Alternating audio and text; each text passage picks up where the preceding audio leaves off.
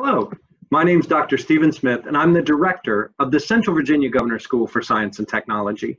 And this video is to explain our scheduling template for fall 2020. Now, this won't provide an individual schedule for a student, and there are some details that we can't provide at this level of structure.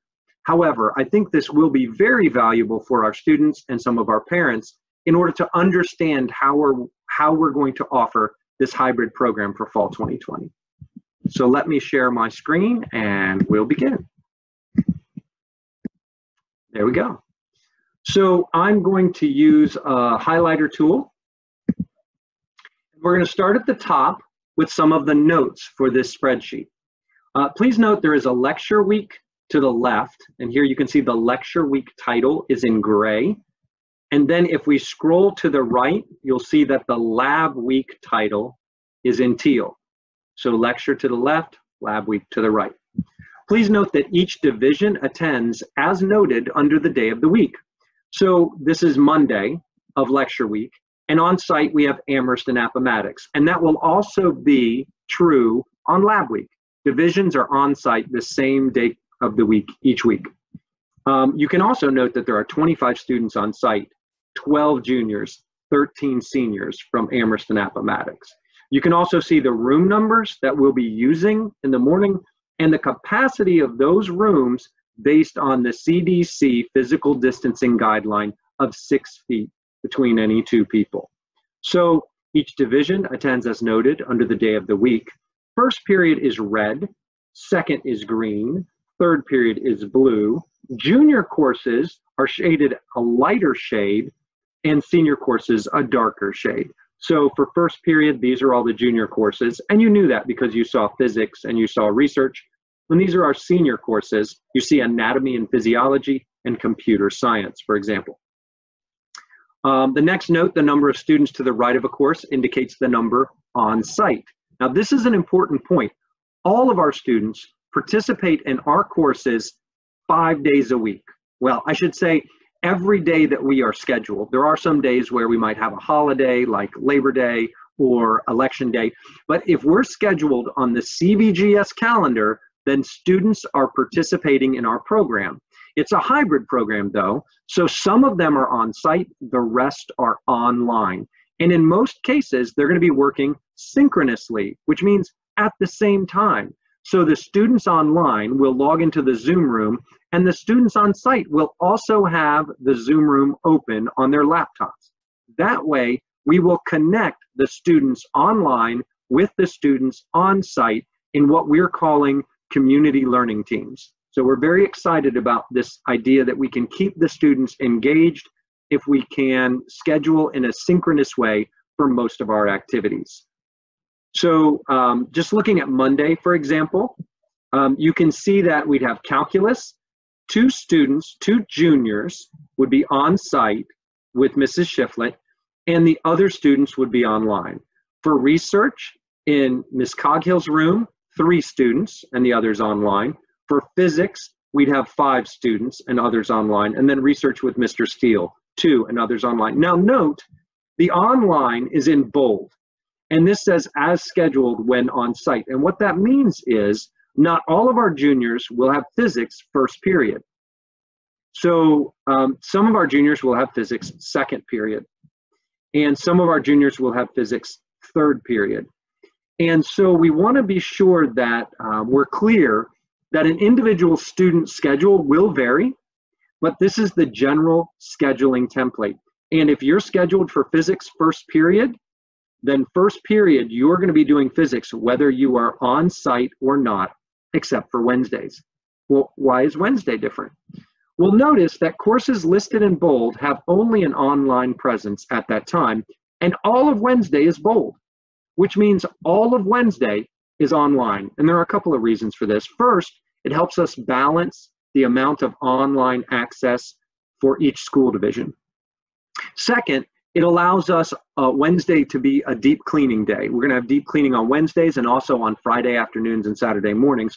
So we're only ever going to have students on site for two consecutive days. And then we're going to have a day where we can do a deeper cleaning. We will clean every day. But let's talk a little bit about what this online day looks like. And it does have a different schedule. We start in the morning at 7.30 for juniors. Again, the lighted lighter color shading. Um, I get to teach them all statistics, which I really enjoy. So they'll be with me at 7.30 and we'll all be online. Seniors will be in their science course. Then when we go to second period, if a junior is in math analysis, they'll go meet online with Mrs. Shiflett. And there'll be about 40 of those, we're guessing. We haven't finished all of the math scheduling yet. Now, if they're in calculus as a junior, then they would might have a research mentor meeting scheduled, and those research teachers will schedule those meetings with individual students. And if they don't, or in the time that they're not meeting, because those mentor meetings take somewhere between 10 and 30 minutes, in the time they're not meeting, they're going to complete their weekly math quiz during this block, second period. If you go down to third period, you'll see that now the calculus students are with Mrs. Shiflett, and we flip-flopped, and the math analysis students are in mentor meetings or completing their quiz. A similar structure holds true for the seniors. After they finish their science course, first period, some of them will go to math courses, the others will take their quiz, and then you'll flip-flop for third period. Let's move, and you can see that these days are, are very similar. The same thing is happening each day. It just varies in which students are on site, and then Wednesdays are different. So now let's move to the lab week. And the lab week is quite different. And it's different because we had this idea that having the same lab experience, the hands-on lab on site was important for all the students. And we didn't want some students to get that experience and not others. And so on a given lab week, the science teachers are going to be repeating the same hands-on lab each day with a different group of students. Well, what this means is the students who are online need to be doing something else because they can't be participating with the lab because they're going to have that experience when they're on site that week. So let's take a look and see what that means. Again, first period, second period, third period, color coded, lighter shading juniors, darker shading seniors, days of the week, the division that's attending, the number of students, all of that's the same. But what we have here, first period, on Monday, we're just going to use Monday as our example, we have six students who are in research, six who are completing the hands-on, on-site physics lab. What are the remaining juniors doing first period? Well, some of them will be online participating in research. The ones who are in calculus, and this is an important new notation, so we're paying attention to this, BC. That actually doesn't mean calculus BC like the advanced placement calculus BC. It means Bedford and Campbell. Now here's why this is important. Um, this is junior calculus taught by Mrs. Shiflett. We can't have Amherst and Appomattox um, being online in calculus, the ones that are enrolled in that course, because they're on site.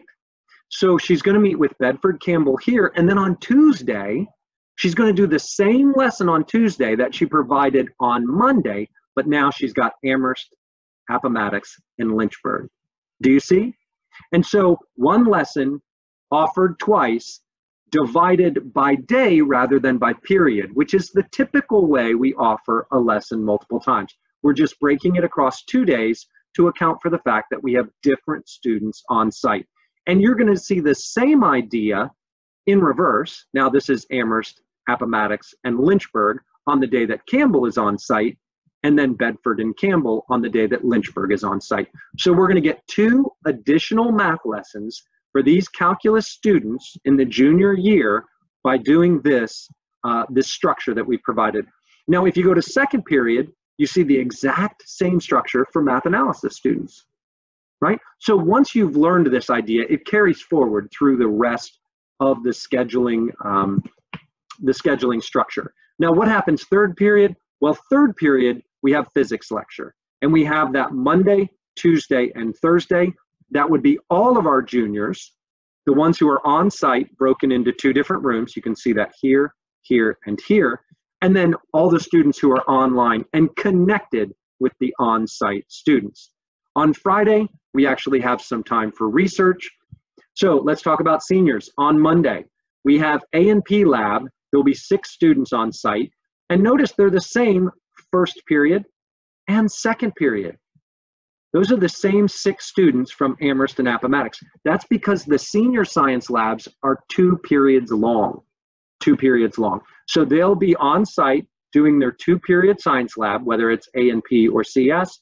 And then third period while they're on site, they'll be completing their senior seminar course. And that's where we have the bridge project and some of our tech labs. So let's take a look at what the seniors are doing when they're not on site in their science lab. Similar to the juniors, you can see here that the students in Calc 2 3, well, half of them, are going to have their online session with Mr. Steele on Monday, and then the other half will have their session with him on Tuesday. If you go to second period, you can see the students who are in Calc 1 with Mr. Steele, half and half again, and then if you go down to third period, you can see the students who are in Calc 1, 2, and the students who are in connections. Again, broken into two parts on Monday and Tuesday. So one lesson repeated across the two days. Again, Wednesday is fully online, and this structure is consistent from the lecture week to the lab week. So for the juniors, statistics, and then math analysis and mentor meetings and math quizzes for those in calculus, and then calculus and mentor meetings and math quizzes for those in math analysis. For the seniors, there's science, and then Calc 1, 2 will be in session while the other students have their math quiz, and then that is reversed for third period. So this is the overview of the schedule for all students. For any individual student, you're going to see some flex time where they can work on whatever it is they need to work on uh, most importantly at that time. And it could be for a junior a research project, or it could be something in math or physics. For example, if we go with the juniors on Monday and we think about a student from Lynchburg City, the student from Lynchburg City is going to have research either first or second period but not both. And so for one of those periods, he or she would have been scheduled into physics, but will not be taking the physics lab. In addition, notice that the math course meetings are for Bedford and Campbell. They don't include Lynchburg. So one of these two periods is going to be flex time for the Lynchburg student. And that idea holds true for each division in its particular day when it has flex time. Now, our seniors have a bit more flex time because they have the senior seminar course, and that requires a fair amount of asynchronous work, work that is not done at the same time as other students. So let's imagine again that we're from Lynchburg, but now we're a senior, and we're not on site on Monday, so we're not going to be in our science lab, and we're not going to be in our math course meetings. That puts us with flex time for senior seminar first, second, and in fact, third period, all three periods. Now, this is the only day of the week of any of the days of both weeks that we're going to have this much flex time. So, what will we be doing on Tuesday? Now, on Tuesday, as you know, we have Bedford County on site and we're from Lynchburg, so we're not on site. However, if we are in Calc 2-3, we'll have an online math meeting. You can see Amherst, Appomattox, and Lynchburg, first period. If we're in Calc 1, we'll have our meeting online, second period. And if we're in Calc 1-2 or connections, we'll have our meeting, third period. So we'll have our online math meeting and then two flex time periods for senior seminar. And that same idea holds true for Thursday when Campbell County is on site. We will have our math course, whatever it is, in one of our three periods with flex time the other two periods. And what happens on Friday? Well, Friday, that's when we're on site all three periods. So that's the overview of our scheduling template for fall 2020. I want to close simply by saying I understand that this can be disappointing and that students were looking forward to having a full morning on site all five days. Uh, I know the faculty was really hoping that that could happen as well, but the pandemic doesn't allow that to happen with appropriate safety precautions. And the safety of our students and staff has to be the primary consideration. We can provide solid instruction for our courses online, in large part because we have wonderful students who are going to make that easy for us to do because they are going to engage with us in our synchronous classes and watch the videos when they can't do that. So we're disappointed too that we've had to go with a hybrid model, but we are 100% confident this model is going to work for our students and for our staff. And we're going to have a marvelous time engaging in learning with our community of learners. If you have any questions or concerns about the schedule or about any specific details, please email me and be sure to read the documents that we have shared related to our fall 2020 reopening plan. All those documents are on our website and can be found at the link CVGS Reopening Plan Fall 2020, which is tagged, linked right underneath the main overview video on the main page of our website. Thank you very much.